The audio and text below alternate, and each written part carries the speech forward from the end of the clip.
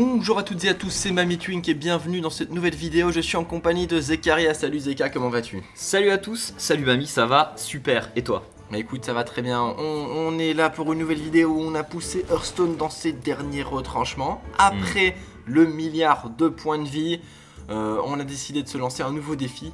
Quel est le nombre de cartes maximales qu'on peut piocher en un seul tour dans Hearthstone et au départ, on était tout fou parce qu'on s'est dit, ouais, on va prendre le chasseur avec lâcher les chiens, on va piocher 32 cartes, on est des, on est des fous, c'est c'est la folie, on est trop fiers.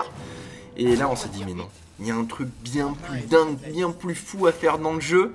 Et on est arrivé à piocher 196 cartes en un seul tour dans Hearthstone et on va vous expliquer comment faire ça. Exactement. Alors tout d'abord, il faut savoir que c'est un trick qui ne se réalise pas en partie classée. Oui. Impossible de déclencher ça euh, dans, dans une partie classée, il faut jouer avec un ami. Il faut avoir deux decks prêtres relativement similaires. Et en fait, il y a six cartes clés dans, dans ce deck. Donc tout d'abord, le clair de comté du Nord. Comme vous le voyez à l'écran, c'est notre piocheur. C'est celui qu'on va essayer de poser sur le terrain un maximum de fois. Oui, parce que pour rappel, il, il fait piocher une carte pour chaque serviteur blessé. Donc, Soigné. Euh, soigné. Euh. Chaque serviteur blessé soigné. ouais. Et. Ensuite, il y a euh, le manipulateur sans visage. Donc cette carte épique pour 5 mana qui permet de copier une créature sur le terrain. Et du coup, ça permet de maximiser nos chances d'avoir des clairs de comté du Nord. Donc de maximiser notre nombre de clairs de comté du Nord. Puisque vous l'aurez sûrement compris euh, en regardant la vidéo, le but est d'en avoir 7 de chaque côté. Pour cela, on a aussi besoin du chroniqueur chaud. Le, Le chroniqueur chaud, c'est un peu la légendaire. fourbe qui est là dans tous les petits exploits, tous les trucs euh, qui, qui permettent de pousser le jeu dans les derniers retranchements. Il y a du chroniqueur chaud dans l'affaire. Euh, il y a également la vision télépathique. La vision télépathique qui est une carte de prêtre pour 1 qui permet de copier une carte de la main de l'adversaire et de la mettre dans sa propre main.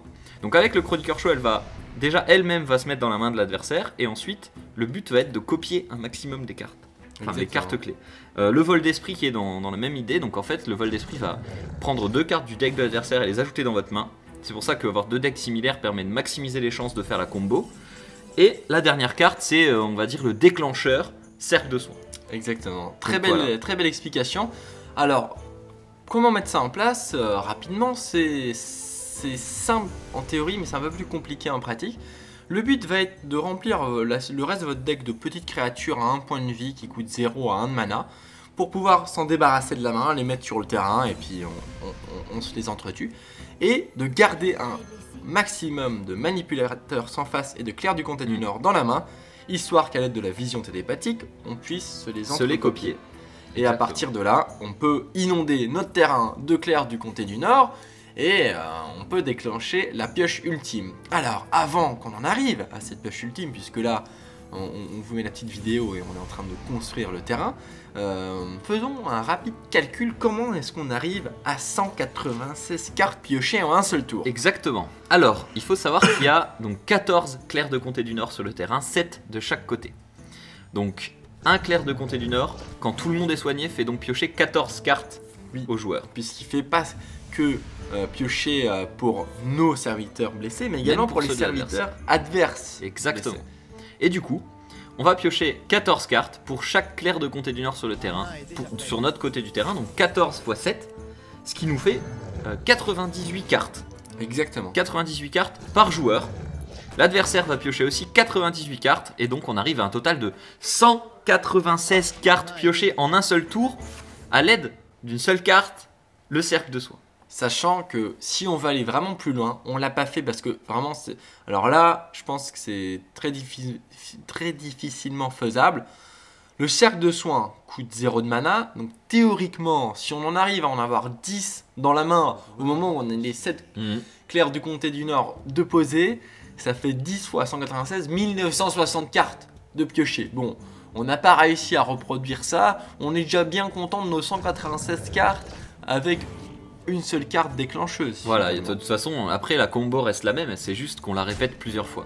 c'est ça. Et puis il faudrait, en fait on peut pas parce qu'il faudrait reblesser les clairs du comté du Nord, donc du coup on peut le faire que deux fois maximum, théoriquement.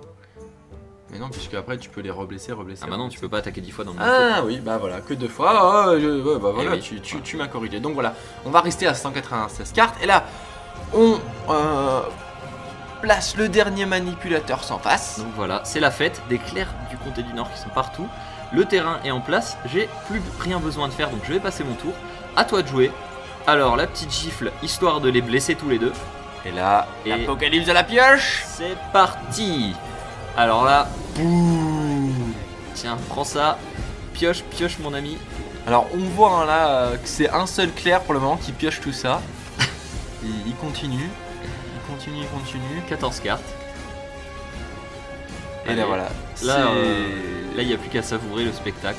Je sais pas si, je pense pas que ce soit possible mathématiquement d'en piocher plus avec une seule carte.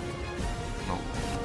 Allez, la fatigue qui commence à arriver, donc j'ai. En même temps des cartes, c'est un peu bugué déjà. Ouais, là, c'est complètement. Et là- et, là, la déco. Il faut savoir que on est déco quand on tente de piocher trop de cartes avec ce tricks. On l'a déjà fait plusieurs fois et au début on croyait que c'était notre connexion internet alors on devenait fou parce que c'est super chiant à mettre en place. On était là, ah mais non, mais qu'est-ce qui se passe? Ouais, les serveurs Hearthstone, machin, rage, rage.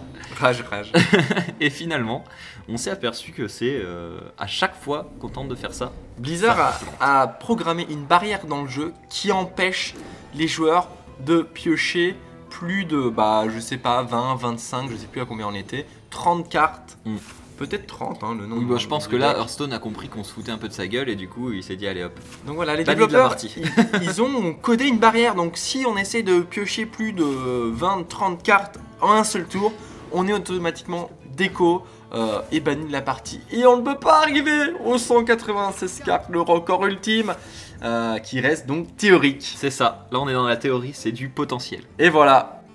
On arrive à la fin de cette euh, vidéo. On a poussé Hearthstone dans ses derniers retranchements. On espère que vous, ça vous aura plu. Et euh, on a d'autres petites surprises euh, Pour bien. vous, on vous réserve d'autres petites surprises et on vous dit à très bientôt pour de nouvelles vidéos. On pousse Hearthstone à ses limites.